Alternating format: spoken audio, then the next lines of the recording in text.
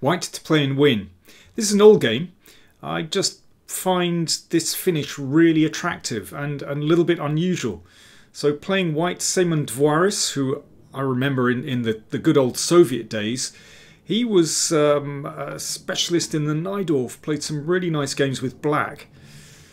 This time he's got the white pieces. It's from Budapest 1991. It looks as though white's position is overwhelming. It is.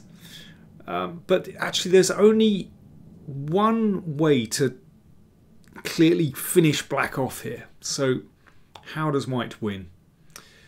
Dvoirys found this move queen g5 and black resigned.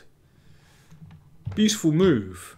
Um, if the queen is taken, then rook check and rook checkmate. The knight covers the escape square here.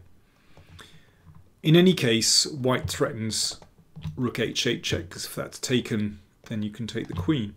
So what about, let's say, rook c8 in order to cover the queen? Well, now white wins with knight takes bishop check. You can exchange everything on f6. And now the f6 square is blocked. And so once again, that is checkmate. Very neat finish. And yeah, queen g5, surprisingly, is the only way to finish black off cleanly. If you want to see more puzzles, then do check out the link to chesspuzzle.net.